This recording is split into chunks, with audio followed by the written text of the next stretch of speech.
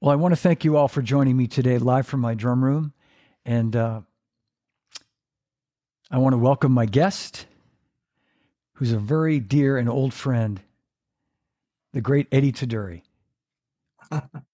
there you are. Hey, man. Hey, buddy. Good to see you. You too, man. Thank you. Thank you. I- thank you for having I- me. My pleasure, man. It's it's a Eddie. It's a it's a pleasure. It's an honor, and and uh, thank you for saying all those nice things earlier. And uh, By the way, you can start now. yes, everybody watching, if you don't know, Eddie is the famous who who watches all these shows, and uh, oftentimes he's, you know, running a little late, and he'll say to me, "You can start now." So I appreciate that. Uh, it's great to see you. Welcome home. I know you're in Nashville. How long were you in Nashville for? Just seven days, like Monday through Monday. Yeah. Uh, it's I love it there. I, I lived there for a little while. It wasn't my cup of tea in that respect. I'm I'm a Yankee, after all. yeah. And, but I love the people there. Yeah. I uh, I worked there originally with Dobie Gray back in the early '70s. Oh man. and I Love met. Danny Flowers and Chris Leuzinger, who are two of my my most favorite people. That they're just amazing, and uh, we're still friends. We, we were in that band together all the way back. I think it was seventy two and three, maybe, Wow. and we're still very close. We keep in touch. Chris plays on every. He's a a, a studio player, but he works with Garth Brooks. Yeah, I Uh, know the name for sure. Yeah.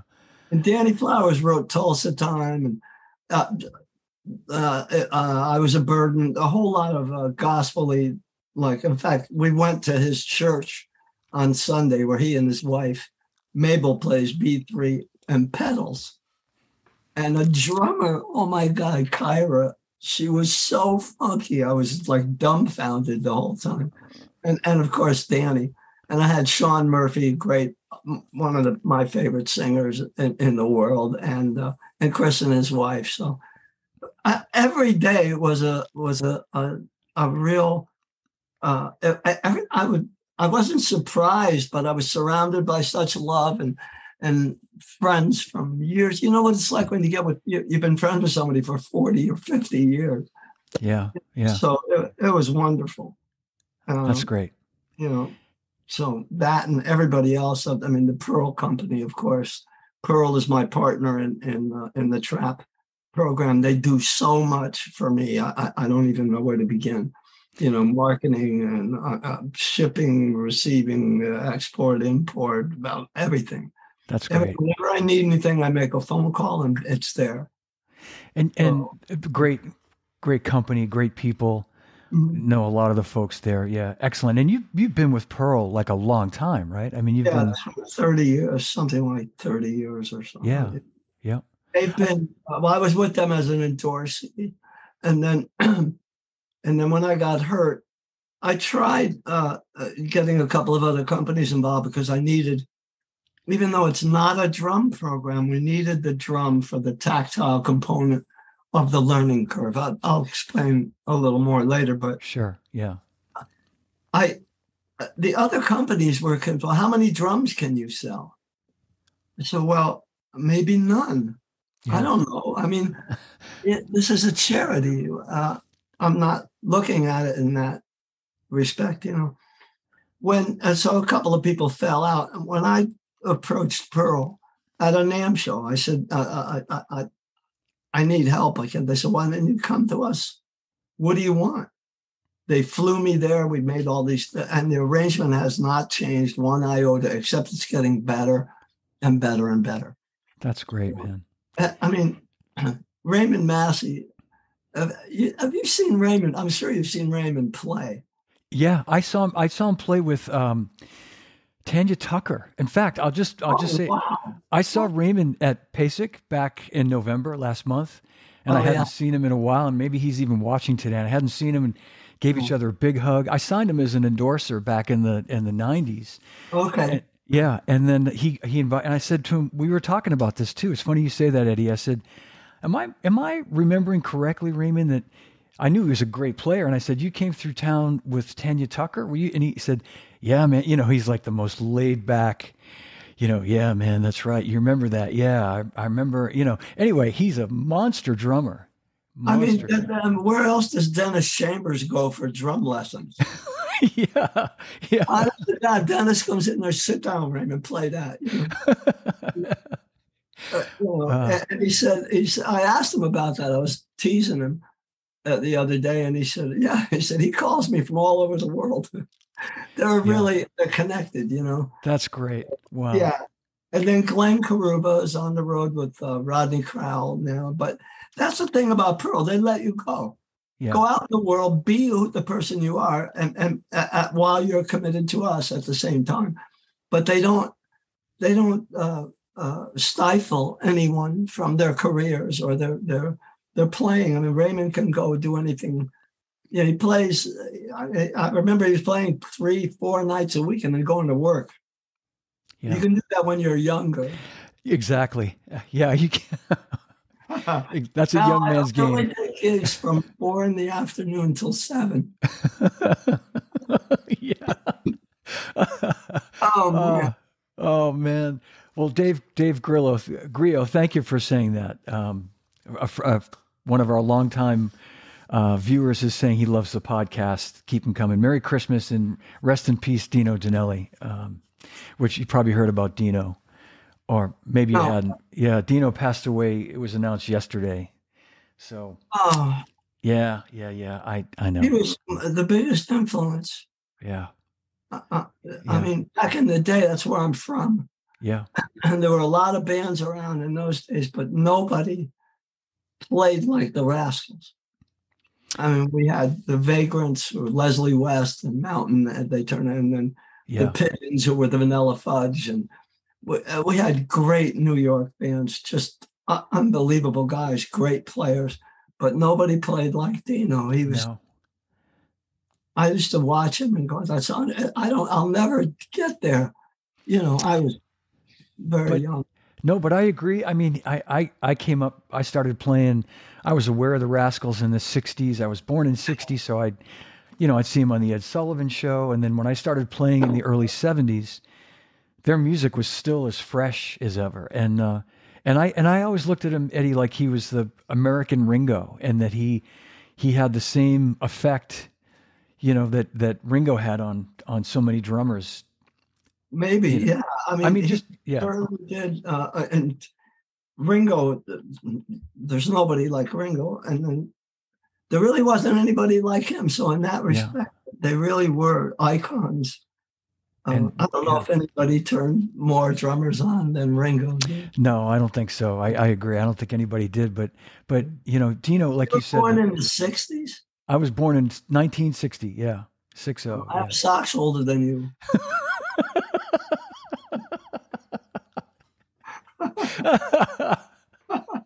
uh, see, I knew it was going to be this. I knew it would be mostly this. We, we, we will...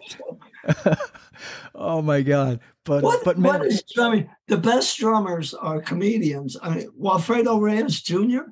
Yeah, yeah. He could get up on stage. I, I love his playing. I mean, I just love it. But if he never played a note, he could make me laugh for a half an hour. And that, and Vinny, Oh my gosh! good. I mean, you put him on stage, and he's just he takes off. He's pretty yeah. good. He's you know, he's all these um stand-up comedians. Forget about the drums.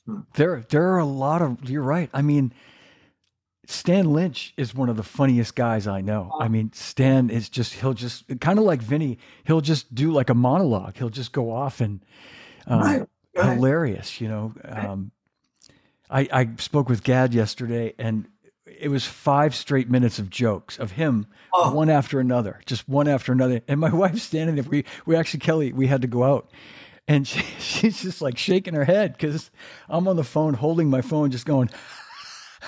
Oh yeah. you know.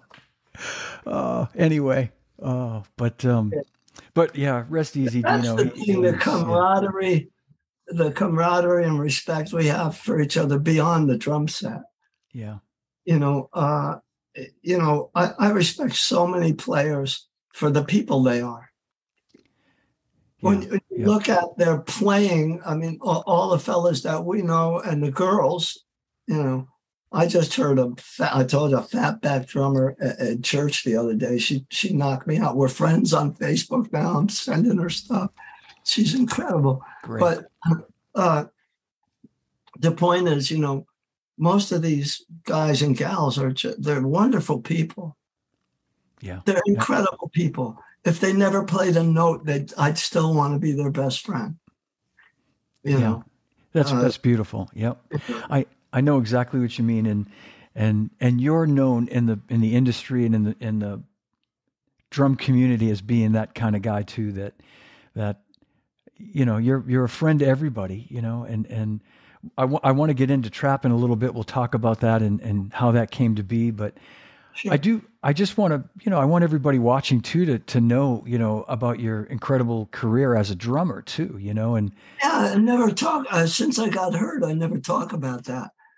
I, but I, I, I, uh, I've worked a lot. I know, yeah, You know, over the years, we all have to. I mean, there was a guy at the airport the other day and asked me, "Well, what kind, what kind of music do you play?" And I said, "Man, I made a living playing drums my whole life." I said, "So, I mean, I would play polkas if I had to, uh, to pay the rent, and Yeah. and with all my heart and soul, I would play a polka, you know." Because you can't really, if you, if you, not everybody is Steve or Vinny or, you know, those cats who Yeah. don't have to be on the phone every five minutes for a gig. and don't have to play polkas all the Don't- time. Play polkas, yeah. I'm sure they played a couple, but uh, so yeah, it, it's uh, it's a matter of, of, of being open and playing uh, anything you're asked to play. It was, it was difficult for me coming from where I'm from. I know three beats. I, I've known three beats my whole life, and I paid the rent. Yeah, yeah, Well, uh, you know, I mean, That's that means a lot. I mean, Yeah. that really, that's saying a mouthful. If you're a musician, you can. People say, "Who'd you play with?" I say, "I paid the rent for my whole life." yeah. And and you know what? And I was just going to say, I think what you said is so important too. That I mean, I know you're you're being a little humble by saying you only play three beats, but but the point of it is the simplicity of just being a solid drummer. And I know that's what you were known for. That's why you got hired to play with Dwight Yoakam and the Beach Boys and and Dobie Gray and you know you don't get those calls if you're if you can't lay it down and just make it feel great, make the guys in the band feel great, be a great guy to hang out with on the bus, you know all those elements of of what it takes to be successful. Yeah, I I agree. I know a lot of guys uh, who have made. Um, Jack Bruno. I mean, Jack, we were talking to uh, Jack the other day. Look, look at all those years, and Yeah. How do you stay in the same band all those years? Not just because you're a great player, Right. right? I mean, he can't make meatballs, but But but he knows you. Yeah, has other attributes. Oh man. Yeah, uh, no. he- no, you're right though. Jack is like one of those guys that's that's just such a uh, a great human. I mean, what a phenomenal player. yeah, Uh, but you know, and he said that the other day too. That uh, he's again another humble guy, obviously, and he was saying that Tina really liked him and and was comfortable with him.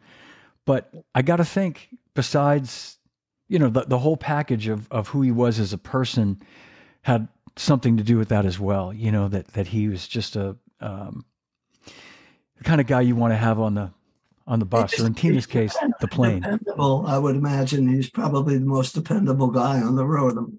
Yeah, I would imagine. But uh, yeah, he. uh, I mean, when when you first said you were going to have him on, us, the only the only word that really identifies uh, is perfect. He plays perfectly. yeah, He doesn't overplay. He plays the pocket. When he embellishes, it's real. It's just perfect. yeah, yeah. Well, I, I always feel like I'm tripping over my feet when I play a fill out, out of context or something. Jack was one of those guys. He was just, I never heard him. you know, I, I worked with Chris Pinnick, a guitar player, for 50 Mm. years. Yeah. Chris is amazing. And he's never played a bad note. I don't know how that's possible. He plays really fast and, and, and uh, he's a very intelligent player. He never hits a bad note. It really pisses me off. You know, Hate those guys. guys like. Damn. Yeah, Vinny's, Vinny's like that. Yeah. Yeah. Well, no, no Anyway. surprise, Eddie. We, we we have a lot of our friends watching today, and uh, a couple of really great comments, which you can see later. But um, uh, I was thinking three or four people would show up anyway. Jake Jacob says, "Great to see t- the two of you hanging." Eddie, your Oh. polka was questionable. Love you, pal. Uh, oh, that's too funny. And Bill Donnelly says, "Eddie is all love and no bullshit." Amen. Yeah, oh, I'll. I'll second that. Thanks, Bill. Yeah. Thank you, Bill. Yeah. So, so my recollection of us meeting was Sorry, I led you away from the playing thing. No, no, that's okay. No, I was just going to say when I met you, um, I think you were playing with Dwight Yoakam. It was in the in the eighties. Yeah, I was living in L.A. We were introduced uh, by Tim Smith, our Tim mutual Smith, friend. Yeah, and Yeah. you were doing rim shot drumsticks. You had just started, you know, running the operation in the states. that was uh, that was a departure, but it was I I really enjoyed my years with the various companies. Yeah, yeah, Whole new ball game. You knew very well. Yeah. yeah, yeah. Yeah, that was Uh, I had been in Canada for four years. I, I traveled around, lived in Europe, lived in uh, other cities and states, and I was in Canada, where I, I honestly think some of the best musicians in the world are just on every corner. It seems everywhere I went, I saw guys that were just stupendous Mhm. I, on every instrument, vocalist, everybody, and I was there uh, playing with a band called the Lincolns. Danny Weiss on guitar, Michael Fonfara on keyboards. There was a guy named Prakash, and uh, Steve Ambrose uh, was the lead singer, and uh, Earl Seymour was on sax. So those guys don't ring a bell because here in the states or elsewhere, nobody knows who they are. But there, like there was a band called the Downchild Blues Band. Mhm. They've been around for 50 years. They are the uh, the inspiration for the Blues Brothers. In fact, Aykroyd still sits in with them. no kidding. And- Okay. Yeah, the the first uh, Blues Brothers album, you'll see Donnie Walsh wrote two of the songs on that first album. Yeah. I okay. remember he got a check and bought a yacht, so I, I'm going to do that. Yeah. Anyway, I, I had left town for four years, and when I came back, I went to Josephina's, you know, which was the best hang in town. that was a great spot, man. Yeah. Uh, and uh, uh, Dwight came walking out as I was walking in, and we had played together, uh, not a lot, but uh, enough uh, back, you know, five or six years prior.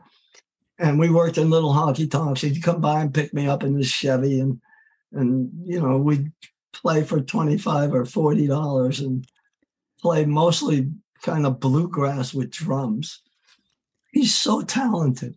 Yeah. Yeah. You know, his music uh, is um, it's exemplary in that field, and and Pete Anderson and the drummer took him to a whole other place, uh, uh, an entirely different place.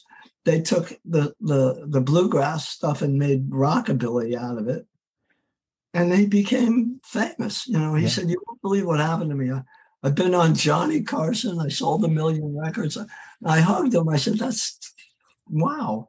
You know, Yeah. Yeah. and maybe six months later or sometime later after rimshot was up and running i get a call from him and he said would you come on uh, and do a tour i said sure Uh, you know if i can invite some uh, players and, and stores and people some merchant people it'd be great you know i'll take some promo with me we're going to be in 52 cities on your dime Yeah. I take advantage of that. He said, Yeah, sure, Eddie. You know.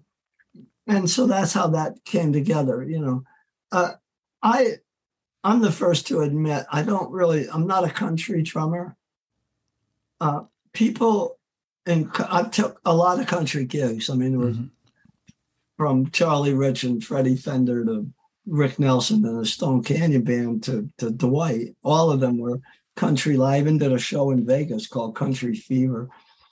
But people hire me because I swing everything. I, I, James Gadson is like one of my idols, right? Oh, so man. everything I play sort of came between him and Bernard, maybe, you know. Yeah. And uh, and so these country guys would say, "Man, I love the way you play that," you know, and because I couldn't play the simple boom chick, uh, uh, uh, which is an art, a real art Yeah. form. I tried to learn it, you know, but Yeah.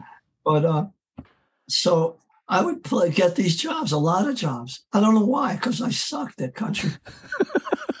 After a month or so, people would say, uh, Eddie, can you kind of play that song more like the record? And I said, no.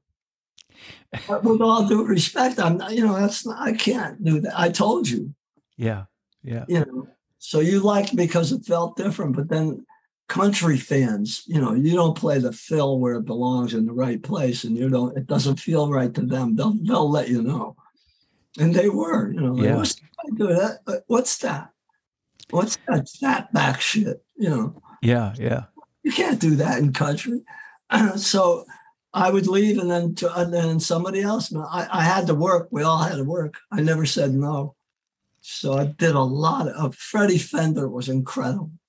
I loved him. I knew him from back when I was with Rick Nelson. Real fun guy. He he rocked. I mean, Yeah, he really yeah. rocked as a person and as a performer. Uh, probably one of my most memorable, fun gigs, and it was short lived. I don't know, a few months. You know. Anyway, But man, what a, you know, and I want to ask this question before it. Uh, Brian Wilson is asking, not that Brian Wilson, another Brian Wilson, uh, was asking, uh, was J.D. Foster in Dwight's band then? no, No. Okay. Thanks, Eddie, and thanks for the question, Brian. And I know there's some others. I'll I'll tr- I'll try to get to these other questions, but um, and I also remember too. I, I'm thinking about this while we're talking, Eddie. One of our, both of our uh, dearest friends, Marty Farah. Um, Oh, yeah. Marty, I Marty and I worked together. I met him when I moved to LA in '85, working at Uh-huh. Simmons, and Marty used to talk about you. So I, I, you know, I knew who you were. I certainly knew who you were when I met you in around '87 or '88, and uh, and and I remember you being at that time. You know, you were like one of the guys on the scene, and and you know, Vinny used to. I was lucky. Vinny, I had a lot of gigs. yeah, I worked all the time. Vinny used to refer to you as my friend Eddie Tuduri. Yeah. say, I was talking to my friend Eddie Tuduri, and he was telling me he he sometimes gets the same pain in his shoulder that I get, you know, or whatever. Oh, yeah. yeah. Yeah. So yeah, I mean, you're you're point to all that is you, you know, you've always been beloved by all these all these guys. So both of those guys, uh, Vinny and Marty, Marty on a uh, even well, not on a larger scale. Marty played with me. Well, I had an organization called Musicians for UNICEF, right, and we did seven years benefits uh, twice a year. But over 300 musicians participated in LA. It was great. It was a great thing. I, I can't even begin to tell you who played from every, everybody played. Everybody I knew played in that at Yeah. one time or another. Marty played double drummers with me every show. And then we had a band called Thunder Up where we but we had two drummers, Jerry Watts on bass, Sean Murphy sang, and uh, oh God, Danny Grenier. yeah, It was always two drummers with Marty and I. And Marty, we were different drummers, but the pocket was perfect. yeah, Ricky Fataar, when I when I took the job with the Beach Boys, because Carl asked me prior to my taking that job. Uh, actually, I was working in the studio with him, and he wanted me to go to Holland with him, and uh, they were they were doing uh, that record, and uh, where Sail on Sailor was uh, released, Yeah. the Holland record.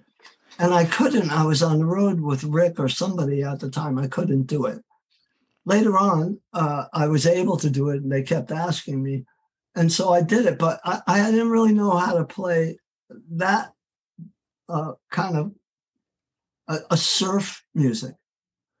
It, had that surf vibe, right? yeah, Sure. Yeah. And uh, like I said, that wasn't one of the three beats I knew. So I actually I got there. Ricky Fataar was playing drums. I said, "Why do you want?" You know, and they said, "Well, Ricky plays all these other instruments, and we would like you to play, and then he can get out and play steel or guitar, bass. So he did everything. Ricky Yeah. Fataar. Yeah. So Great drummer. Yeah.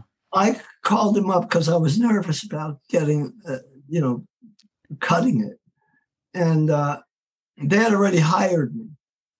So I, you know, oh my God! I, I showed up at rehearsal, and Ricky was set up.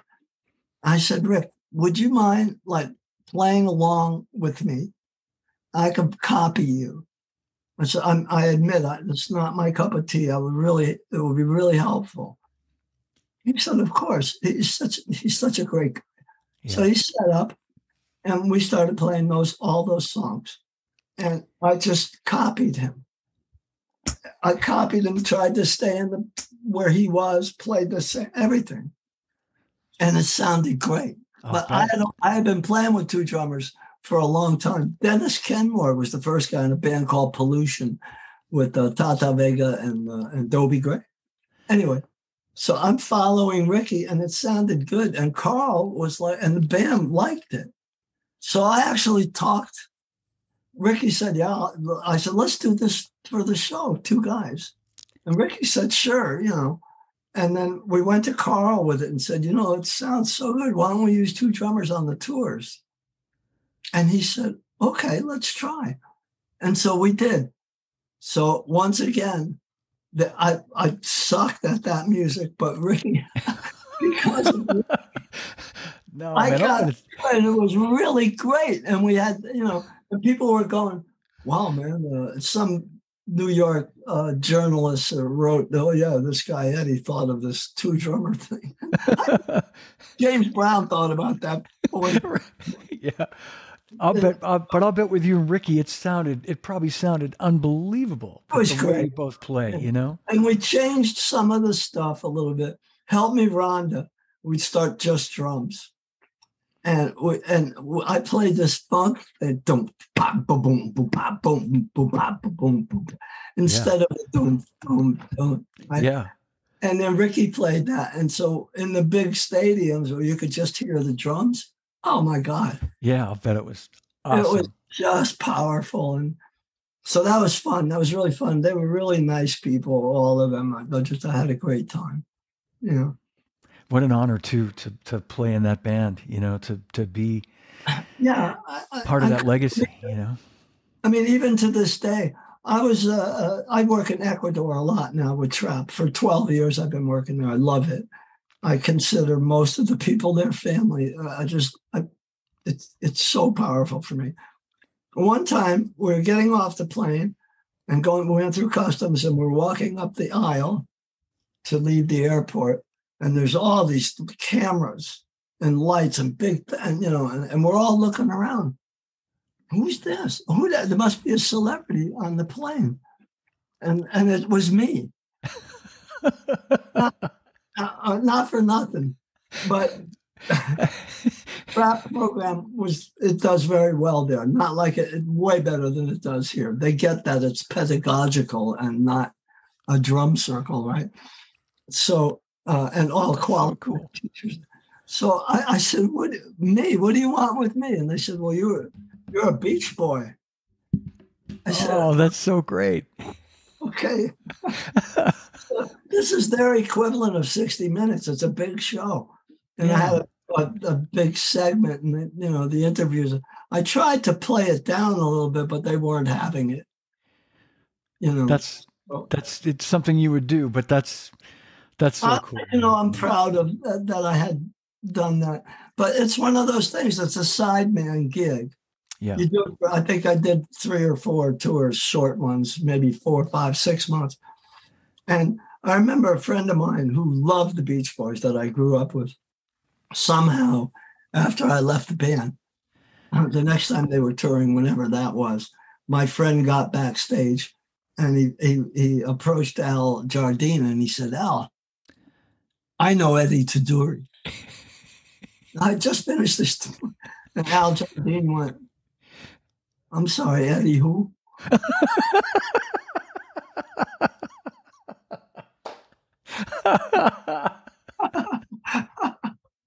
so there you have it. Yeah, but I'm sure he knew you as Eddie the drummer. Maybe. Yeah. Yeah, yeah. No, but that's but you're you're I mean, you're that real. happens. Yeah, That happens. I mean, you know, we work for people we think we're best friends. I worked with Jimmy Messina for a long time. Jimmy and I really hit it off uh, because we were the, exactly the same age and uh, have been through all this stuff and history together, but not together, but in the same place, but we never really played together. yeah. And I, uh, I heard he called me up. Mike Mike Clark had the gig, and uh, it- at the last minute he had to leave. So he called me up. He said, "Listen, I told Messina he doesn't have to audition. You could just walk it. You'll do the gig. Uh, so he doesn't have to go through all the shit." He felt bad about bailing at the last minute. Yeah. So I showed up. I got the gig. Long story short, I got the gig. And uh, so uh, Jimmy and I, probably for, probably a year and a half or so. And uh, I know Jack didn't talk about uh, working with. I I told Jimmy about Jack. oh, that's cool. Yeah, but uh, we did a record uh, there together, and uh, and Jimmy is the one that talked me into moving back to California. Wow. Yeah. But uh, that was a gig that you know there were there were some gigs that I was really happy with that I really felt great about, and that was one of them. Jimmy's a great guitar player, producer, engineer, arranger, all of all of the above. yeah. You can be a little uh, cranky once in a while, so so can I. you know, Yeah. Me too. but uh, Me too. I'm- the, the, point is, after I played with him all that time, when I broke my neck, he showed up at the hospital one day, and then I ne- I didn't see him or hear from him for 20 years. wow. And then he calls me up like last year. He calls up, "Hey Eddie, man, uh, you remember that drum set you gave me? I need a part for it, and I, I wondered, you know where to?" Like nothing, no time transpired, Yeah. and and and I was completely fine with that. Yeah. Yeah. He was okay. And what I'm saying is, you work with people, and then you you don't see them, and they're on to them. I, I haven't talked to Mike McDonald. We worked together for five years. He doing benefits. Mike's great, and he lives up the street. Mm. He he and his family have had a lot of Tuduri meatballs. Trust me. After a while, that's my calling card. You know, when Vinny, Vinny pla- I live across the street from the bowl. When Sting played there, yeah. I couldn't get a ticket. Right? They couldn't. They couldn't give me a ticket. But I, so I go. I usually when friends are there, I, I walk across the street. It's right there. So I made a giant pot of sauce and meatballs, and I took this all up. up I drove up the hill, and all- you know we all ate like pigs. Sting, the whole band, all everybody, the band, the vocalists, the crew, everybody had meatballs, and we and and then uh, and then I took my pots and pans and I went home. I didn't even see the show. I heard this story. I think Vinny told me this story actually. Yeah. Oh my God. That's so you. That is so you. Oh my God. Oh, Anyway, yeah, that's it. So you work for people and then you don't see them, or if you run into them, it's you know, uh, it's that side man persona that uh, it's we go we move from job to job to job, and and sometimes we don't maintain any sort of uh, relationship with the with the boss yeah. or the was small- well the band usually. I still talk to guys I played with in various bands. Obviously, Rick Nelson's band, uh, Jay White and and Dennis uh, Sorokin. We've been friends all these years. That was from 1974 and five. wow. Kept in touch. We did a, a Stone Band reunion in Chicago about five years ago. Just the three of us. It was fantastic. So, yeah, but the the stars not so much. Mike, I mean, after all this, I haven't talked to Mike in two years. Wow. I talk to his wife all the time. They live up the street. Yeah, yeah. The pandemic well, and all that. And he he's had a busy, rough, roughly a year or so um, with the Doobies. You know, being back with the Doobie Brothers. So he's been cut him a little slack, Eddie. He's been busy. COVID twice. Oh yeah, yeah, yeah, and that too. Yep, yep. Listen, Mike McDonald is the nicest, accom- most accommodating. Was when I got hurt, he was here. Mm. Whenever I needed anything, he was on the phone. He's not. the last show we did together, we were all in the living room. I was all bandaged up from the cancer operation. And they came over to make fun of me, I think, you know.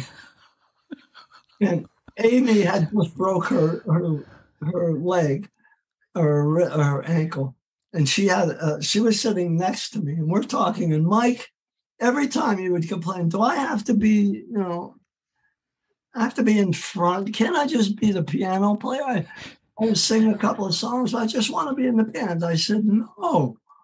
No, you can't just be the piano player. Are you kidding? No, you're Michael McDonald. Yeah, yeah you can. I'm sorry, pal, but you know we, we won't sell any tickets. so he says, "Well, uh, you know," and he was serious. So Amy and I, I, I had just gotten out of hospital. I had this wristband on that said "fall risk," and Amy had just been on. And she had the same armband on, and her arms were on the couch. She like this. And just when that happened, I looked at those two wristbands. I said, I'll tell you what we're going to do, Mike. We're going to say Michael McDonald featuring the band Fall Risk. Everybody cracked up, but I did all the promotion like that. And I, you can imagine all that. I have, all my friends are therapists and nurses. Yeah. so I asked uh, Jan Ingram, my dear friend, she and her husband live down the street. They're the sweetest people in the world. I oh, said, man. Can you get me some wristbands? She said, How many? I said, You know, a couple of hundred.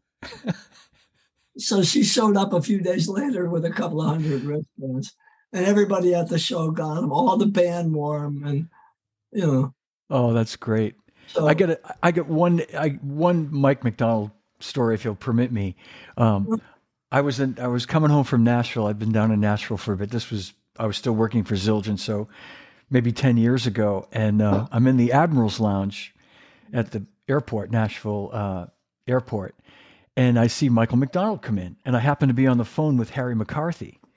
And I'd, I'd, seen I'd seen Harry the night before. We'd had dinner, so you know Harry's like saying, "Have a great trip," you know, whatever. And and and I'm on the phone with Harry. I go, Harry, Michael McDonald just walked in, and he's he, Michael McDonald like looks my way and smiles at me, gives me this big yeah. smile because he knew I knew who he was, and he's kind of like he looked really approachable. And I said, you know, and, and Harry says, "Oh, tell him I said hi." And I went, "Yeah, okay, sure, yeah." And he said, "No, seriously, seriously, I know him. Tell him I said hi." So I hold my phone. I go, "Harry McCarthy says hi," and he goes, "Oh, you know Harry?" And he comes over, and it was like he was the nicest yes, guy. No pretension. Yeah, nicest None. guy. I mean, yeah. I, you know, um, and I write about that in the book too. With all the, uh, I wrote about all those people in the resume, everybody, because uh, I don't usually talk about that. I took notes all those years. When I got to Michael McDonald, it was a different story, different than anybody. He's just so kind. He's the kind of guy you would like to be friends with. Yeah, he seems it. If he was a plumber, you would still want to be his best friend. He's just so kind. Yeah. yeah. He helps everybody. He doesn't say no. That's a problem. He does. He doesn't say no uh, to uh, here in town. Uh, you know, he'll do concerts every week for free for one, oh. one concern yeah. or another. I don't know how he does it. And then he'll fly in from you know another country, just show up in time for the gig, and boom, you know, I mean, he's an amazing guy. And his wife, Amy, sweeter than him, even. She's wow. the best. And I knew her from Josephina's. You know, that was back, a great spot, Josephina's, man. I... Lothar and Bob and all those, uh, Chris, they're still with us. We're, we're still all playing together. You know, Amy, uh, I'm in touch with Amy more than Mike even. Mike's, he's pretty busy. Well, Eddie, can you, can you, um, you know, talk about uh, TRAP, and I and I, you know, maybe. Yeah, sorry. No, no, no. It's okay, and I and I I, I feel funny even asking you to to talk about the circumstances that led to.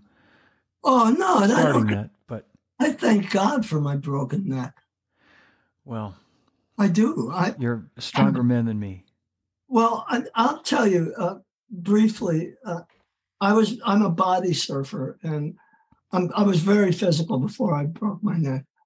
I was in taekwondo uh, five days a week, and I, I, I'm not saying I was any good at it, but I was very active in it and very uh, in in shape, and uh, and surfing every day, body surfing. Yeah. I hit a bad wave. The wave was during El, El Nino time, and the waves uh, and the current was uh, especially tough. And I jumped in a wave and just went bam. It pounded me into the bottom, and I heard a big snap, and then nothing.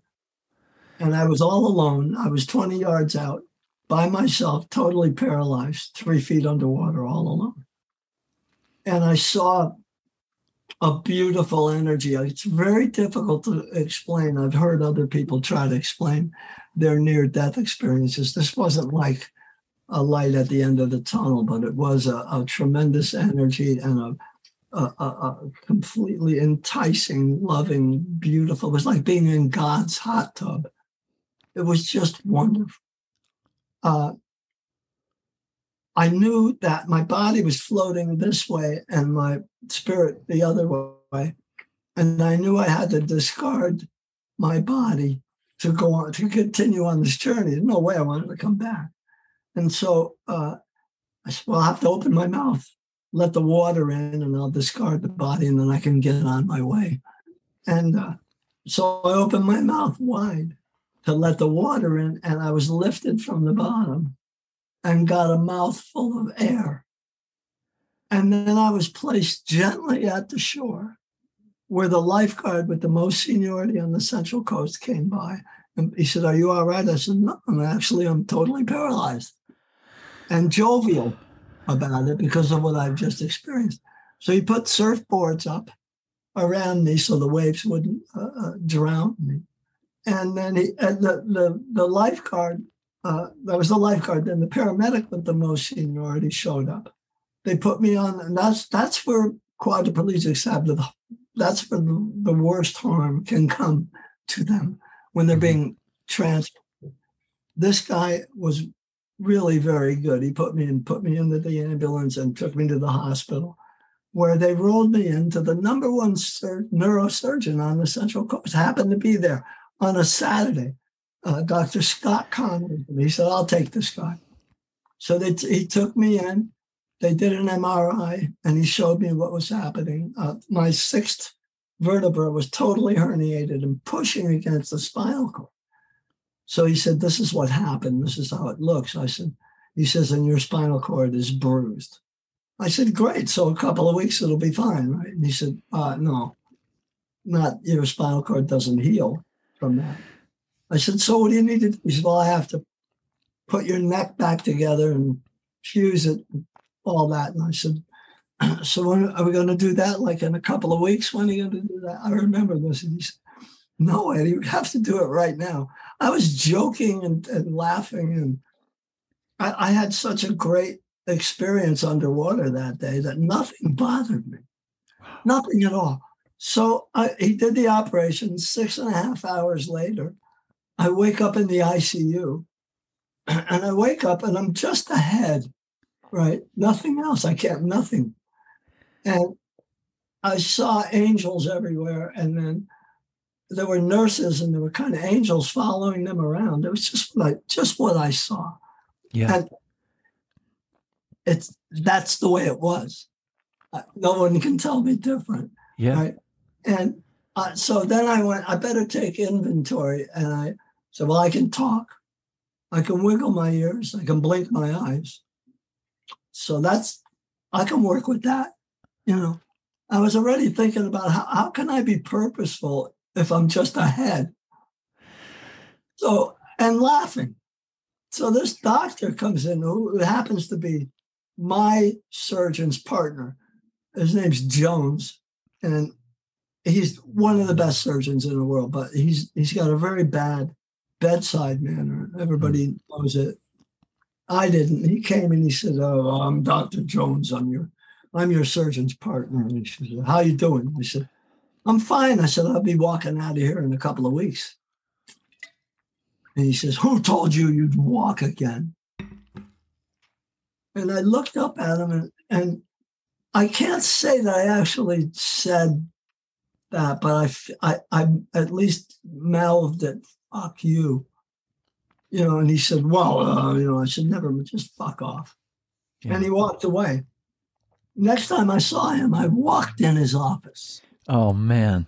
Right. Six weeks later. Yeah. Uh, so what happened was when I got to the hospital, after a little while, my right hand came back and I could wiggle my toe. I knew I was going to be all right. Everybody else didn't. Um, the, they were sending psychiatrists in. I said, you know, I'm really going to be all right. I really appreciate what you're trying to do, but this is just a process. I'll be with you in a minute. Know, this is I'm going to be fine. And at two weeks later, there was she was sending her patients to me. You know, at any rate, I started moving around just a little bit, and I had I asked my friend Greg Leroy to bring me some sticks and shakers and stuff. So he brought me some drumsticks, and I, you know, the railing on the side of the bed, I was going.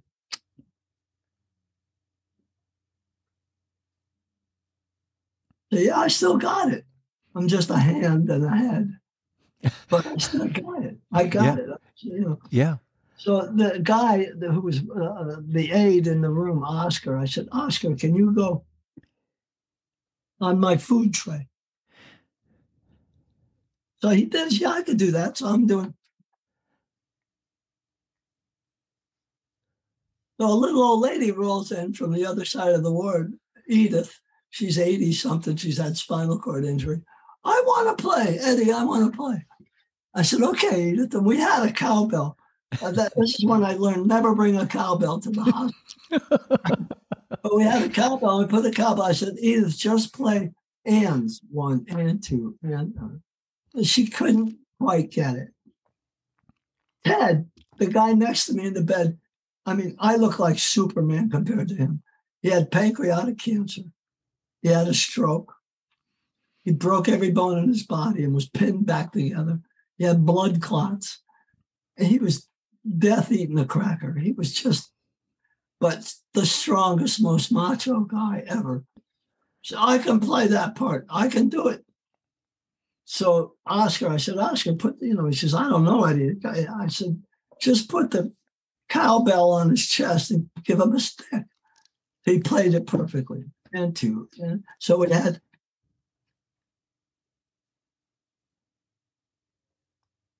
one and two and then three. Yeah. And then Edith was, uh, but Eddie, I still want to play. I said, all right, Edith, just do that.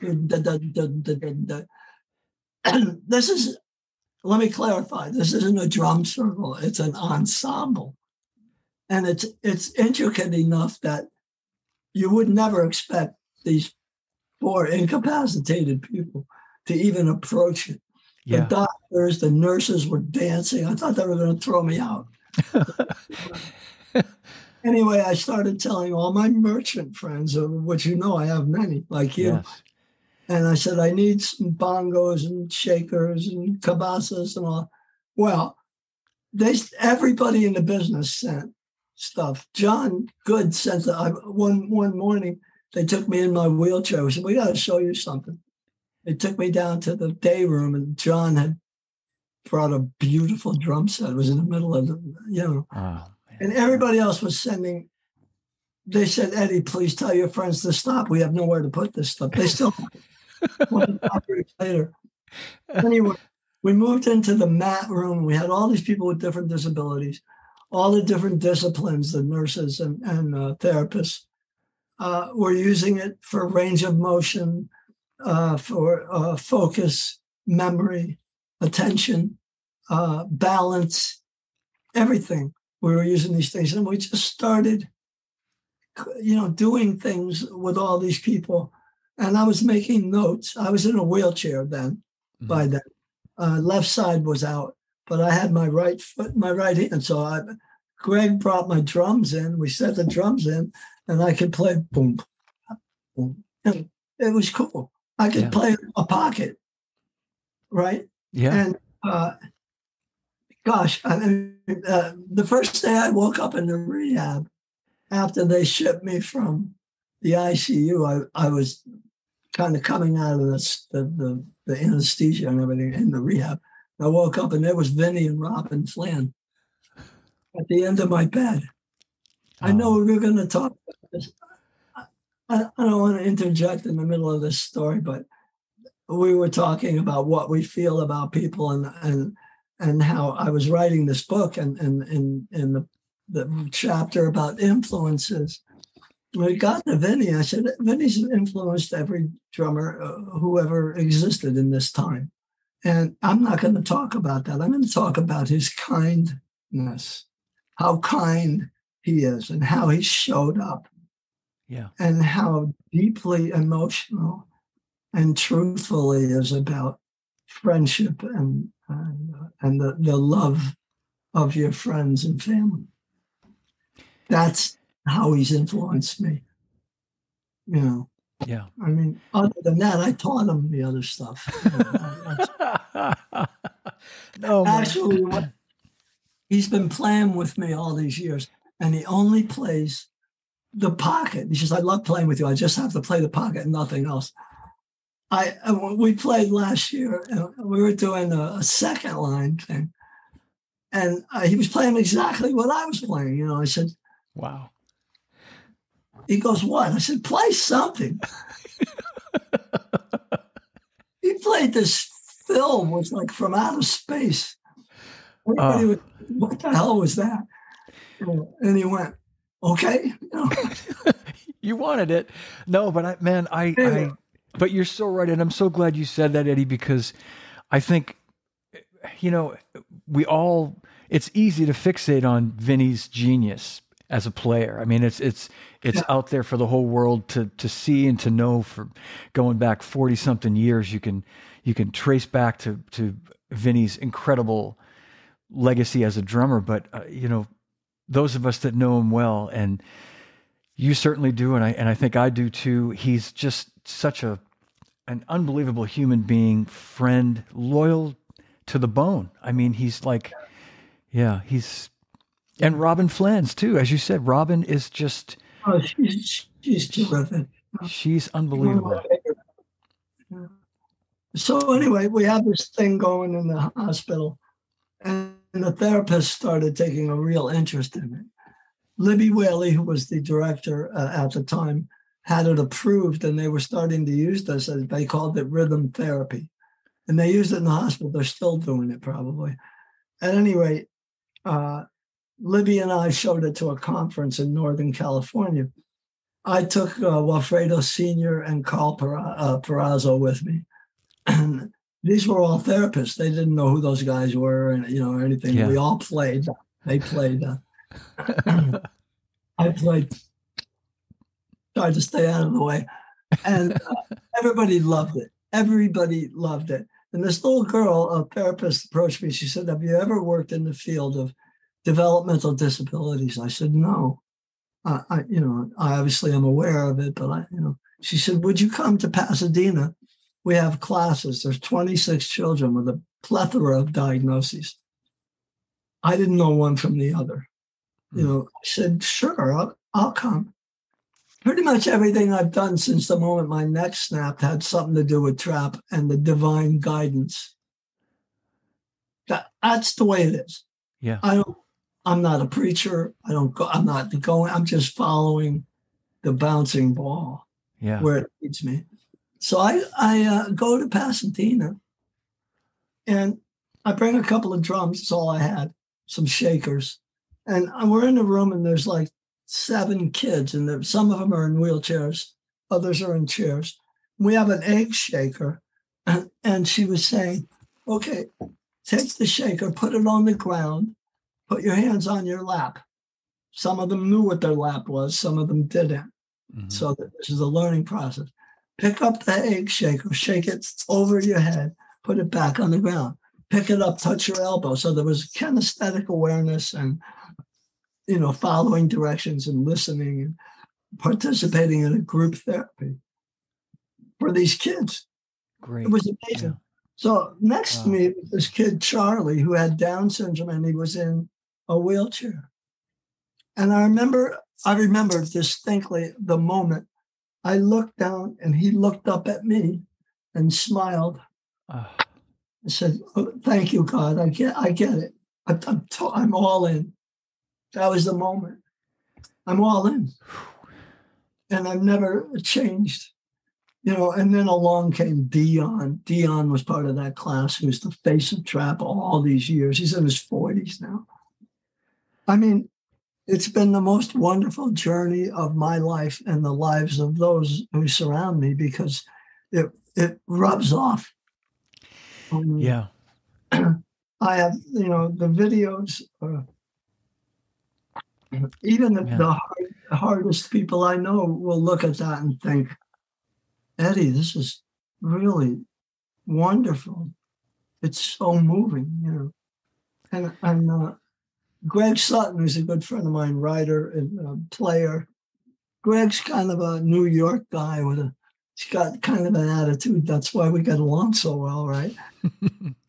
uh, he was talking. He called me up one day, and he's not he's not a mushy kind of guy. And he said, uh, "Eddie, I've been watching your videos. I'm really moved. Really." I said, Greg, it's like rubbing shoulders with angels every day. Yeah he, the writer in him, says, finish those lyrics and call me back. And he hung up. And now we have a new theme song called Rubbing Shoulders with Angels. I'll send it to you. Please, it's, yes. It's really, it's it's really says it all, you know. Uh, so this, I stayed at that place teaching for six years. I found a place closer to home. I was in Carpinteria at the time. I went to Ojai for six years and I worked with great therapists and and and then I, I also volunteered at the hospital twice a week for three years.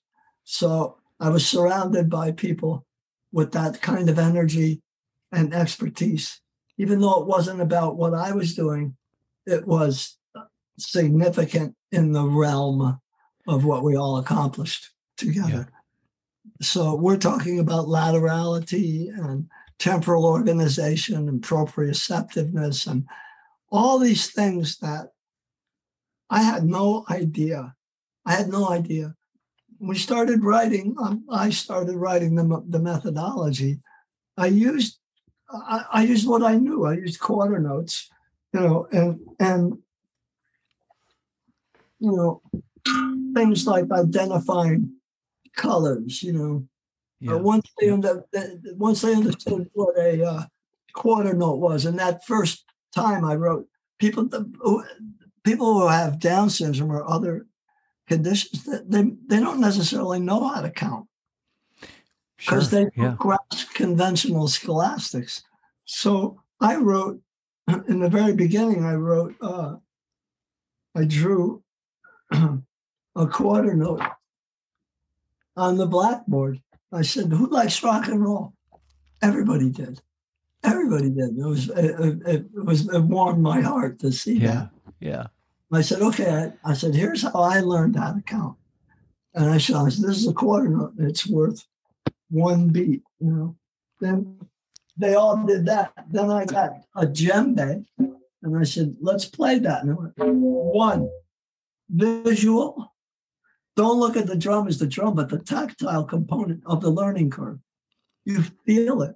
It's a drum, so you hear it and combine it with speech. It's a multi-sensory approach to learning. Mm-hmm. So then it went from this one quarter note. I said, well, let's play that for me. Oh, one, two, three, four. Then that went, I mean, it gets, there's a hundred pages of really abstract stuff, accents, colors, uh, shapes, uh, sign language, you know, and you know then they learn right from left, which is really important. Right, left, right, left, right, right, left, left, right, left, left, left, right.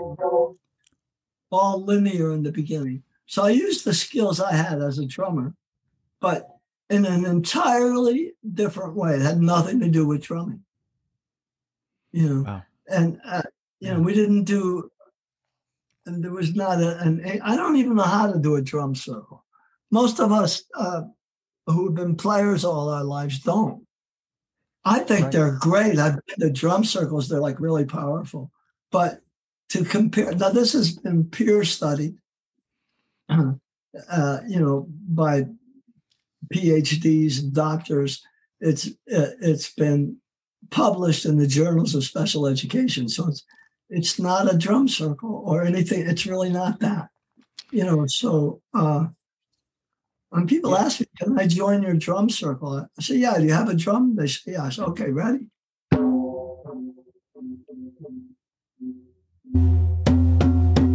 Or what's the other one? Yeah, there's two like two two drum circle beats. Um, that's how much I know. and It's- they're great. They're powerful. They're fun. I encourage all my kids and adults to go. Go down the beach. Don't smoke a joint. Just go down there and play and have fun. You know, It's so beautiful, Eddie. It's it's man. I just want to read you what Bob Sidlowski said. Um, oh, Bob. yeah, Bob's watching. Yeah, our old friend Bob Sidlowski, and he said that's precisely why you were saved, Eddie. Uh, Yeah, I I I, agree that. with him. I, I Yeah. When I looked at that kid's face, and I say this over and over again, when I look into the eyes of a child with Down syndrome, it's God looking back at me directly yeah through this child. So I I have no doubt about that. I don't mind telling you or anybody else how I feel or where it came from. It is. Absolutely. And Bob, you're right. I felt that. I still know it. I mean, yeah I had cancer a few years ago. They weren't sure if I would make it.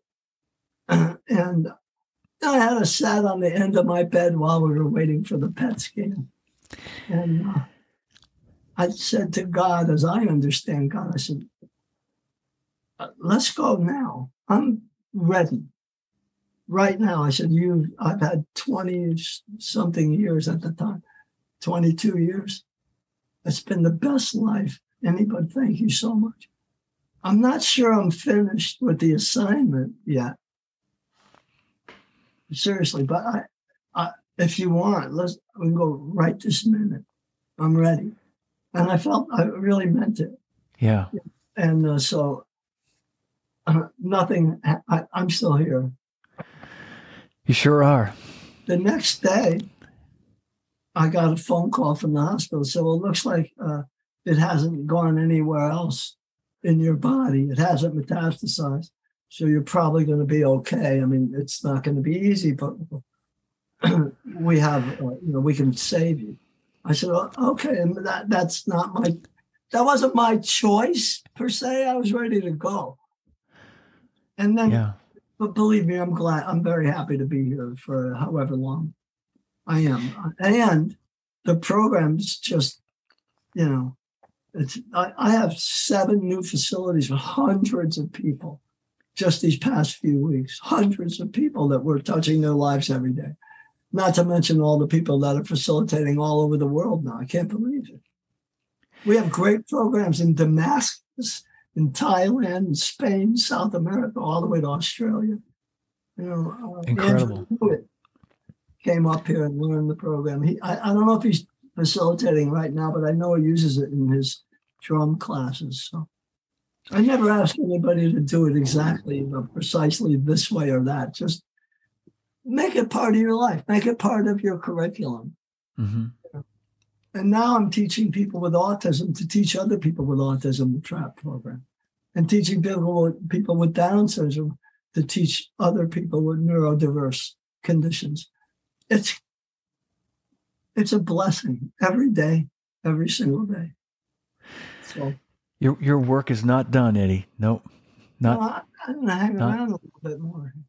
Yeah, good. And and speaking of Jack Bruno, um, the man of the hour, besides yourself, Jack said, "Love you, Eddie. Making Eddie T making the world a better place." Where did Oh, where? Yep, better than playing drums, better than your meatballs. Well, maybe not meatballs. Wait a minute. no, he, he he said, well, maybe not better than than your meatballs, but it, it's close. yesterday, Jack, Jack, you'll like this. The uh, yesterday in the in your notes or whatever, some uh, somebody said you said Eddie this this and so much more, and the guy said, "Does so much more mean your recipe for meatballs?" Yes. right? So you don't see what I wrote back because I wrote I wrote back, I'd be happy to do that, but then I'd have to kill you. and Facebook blocked me. Oh my God. Oh I my God. Yesterday because then they said, you know, you- I said uh, they gave you uh, some choices. To, do you, you know? And I said, you know, you took this totally out of context. Yeah. And yet they, well, I won't, I won't even get started because they'll, they'll probably shut down this show right now. But the, the amount of shit they let out there. And I've had the same kind of thing happen where I've said something and then I've seen it blocked or, yeah, changed. And it's like, are you kidding me? Such a Yeah. common thing, especially with Uh. Italians. You know, can you show me how to do that? Well, I could show you, but then I'd have to kill you. you know? Yeah, exactly. It's a classic. And Anthony Casina is Anthony is the guy that that said it. I remember reading it actually. Anthony Casina, who Oh, is saying that was me, Eddie. Um, yeah, okay. So he was a he was a paisan like paisan like us. That, That's that what I said. I know they Yeah. didn't let him see that yesterday. But that's what I, replied. It was a Oh, man. They, they blocked me. That was great. That was oh man. Well, we're we're about ready to wrap it up. We've uh, the time goes by quick when when you're having fun and laughing for an hour plus. So. Um, but so for folks watching, um, they can find more about this. They can. There's a website for Trap, right? Or or go to your. Yeah, trap learning, one word, trap traplearning.org. Yeah, That's simple. It's and I'll great- share it on this too. Yeah, Okay. great. And uh, you know, Eddie, I know there's so much more, and we'll, and we'll another time we'll we'll cover more of all the stuff that you have done and continue to do. But this has been so much fun today, and and I want to thank you for almost 40 years of being a great friend and and an inspiration. You've always been an inspiration, and when I saw you when all that happened 25 years ago, and I I saw you come back from it, it was just and and you've always been this positive as long as I've known you, and I I love you, brother. Just I love you too, man. I'm so grateful that you would have me on your show. I, I'm telling you, I watch it and I get excited to see Jim and Jack and well, everybody that you have on your show. It's it's so to be in that uh, in that on on your team, so to speak. Wow. a, a real honor for me. Thank you. Thank you, thanks, Eddie. Okay. All right, Merry Christmas, buddy. Merry And uh, Christmas. yeah, and and uh, hang with me for one second. We'll end the stream. I want to thank everybody for watching. Giant hand for Eddie Tuduri, all of our hero, inspiration, and uh, stay tuned, everybody. We'll see you soon. Thanks for watching.